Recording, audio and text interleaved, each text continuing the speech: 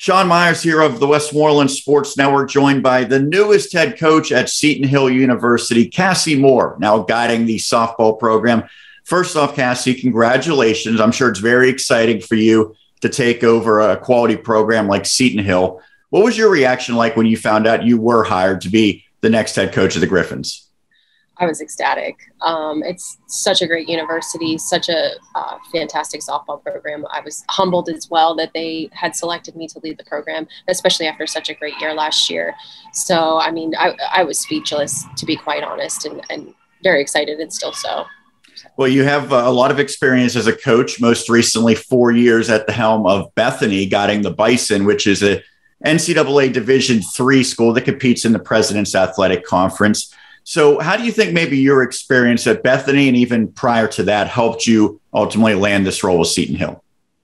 Well, you know, I, I told the the hiring committee softball, softball, and I firmly believe that. Yeah, the pitch might come a little bit faster, um, but to me, it's it's all about you know managing the girls, developing them into you know strong leaders, tough women, um, and then getting them to understand how the game works. You know, I've coached Division two, I've coached Division three, I've coached junior college, and I really have the same approach with all of those levels. Softball, at its element, is a very basic sport of catching and throwing and hitting the ball where the players aren't.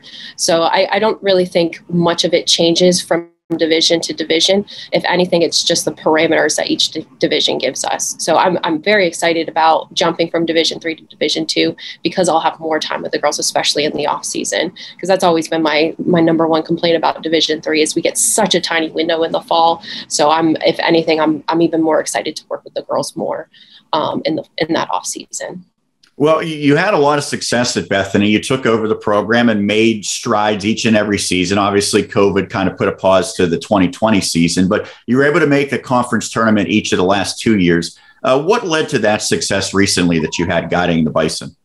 Um, you know, we talk a lot about trusting the process, um, especially after that 2020 year. My first year here, we missed the playoffs. Um, it's very hard to make the playoffs in PAC softball. It's the top four teams. We were very close, but we missed the playoffs that first year. And then obviously we had our season taken away uh, during during COVID. So I think the girls just coming back, they were hungry. They had unfinished business, um, and we, you know, like every other school, had a lot of of obstacles that COVID year. Um, at one point in the season, we were wearing masks while they were playing because there was close contact with another school. And they they honestly were just so used to adversity. If anything they rose to the occasion and you know we made a run for the PAC championship that year. And if anything that just made them even more hungry um, you know with last year with our run. We ended up losing two really close ball games by by one run but i mean sometimes that house that's how softball goes. It's just you know a little hit a little bit that way or a little bit that way. A lot of times can change the game but but for for our team, it was just you know, like I said, just trusting the process, putting in the work every single day, showing up, and you know, just as my dad always said, letting the chips fall as they may. So we just put in the work and let it happen day by day. So you have already been hired at Seton Hill, but you're still at Bethany right now. You're in your office there. You're saying your goodbyes, and then you're going to be saying your hellos as well to your new players. What's what's that process like? It's very bittersweet. Um, you know, I've shed a lot of tears, and our girls have shed a lot of tears here. It was very hard to leave Bethany. Um, not to give too much away to the other PAC coaches, but this team is very, very talented. And and as I told them on Monday, um, I want them to realize all the good that they have. I might be leaving, but they have each other. They're really great ball club, um, and they just need to remember what brought them success the past two years. So, it, like I said, it's been tough. It was a really, really hard choice to make. Um, but you know, I also understand that Seton Hill is a fantastic opportunity and, and one that I'm very, very excited about. So as I said, it's bittersweet. It's it's kind of crazy trying to move and live in two different places and and really in my head coach two different teams. You know, I've got concession stand items over there. I was at Sam's Club and trying to make sure this team is well taken care of before I leave. Um, I'm still very committed to them, but at the same time transitioning in, in my mind, taking over a new team and learning all new girls and, and how they operate and, and what works for them and what traditions, you know, we want to carry forward at Seton Hill. So it, has been tough, but you know, just like I was saying with the girls with our success, um, with your last question, it's just taking it day by day and trusting the process and having patience and understanding that, you know, if you put in the work, the results will come. Well, the team you're taking over is coming off of the best season in program history, making it all the way to the a national championship tournament a year ago. So when you look at Seton Hill, I know that they did graduate some terrific players, but they have a, a large group coming back. What are sort of the expectations that you've set? I mean, it's tough to to kind of put that on yourself. I mean, I've, I've thought about that a lot. Like, oh gosh, we got to make the World Series again. But you know, I know they've lost Morgan Ryan and and their other star outfielder. Um, so you know, there's some ground that they have to make up for that. But you know, it's it is again, it's just trusting the process and putting in the work every single day, and then you know, just letting the season happen how it's how it's supposed to happen.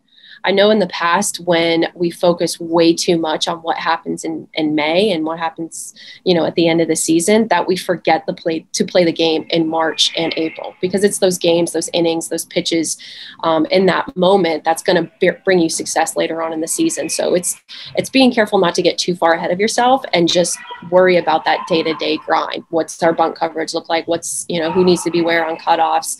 How do we handle you know a lefty with a dirty changeup or whatever it may be?